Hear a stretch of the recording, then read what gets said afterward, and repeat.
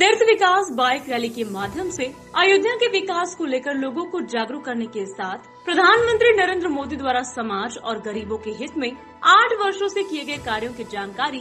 घर घर तक पहुँचाने के लिए युवा मोर्चा के द्वारा आज बाइक रैली का आयोजन किया गया। अयोध्या के रेलवे स्टेशन से सैकड़ों की तादाद में मोर्चा के कार्यकर्ता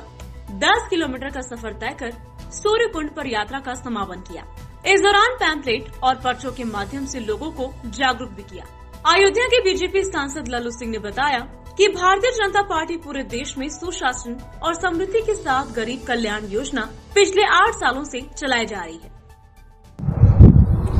भारतीय जनता पार्टी ने पूरे देश में सुशासन और समृद्धि और, और गरीब कल्याण योजना जो आठ वर्षों में चलाई है उसको 30 से लेकर के 15 तक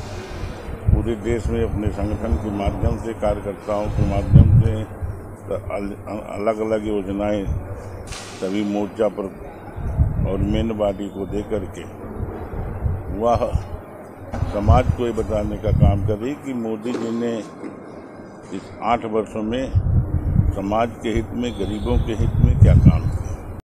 Bureau report, V news, Ayodhya.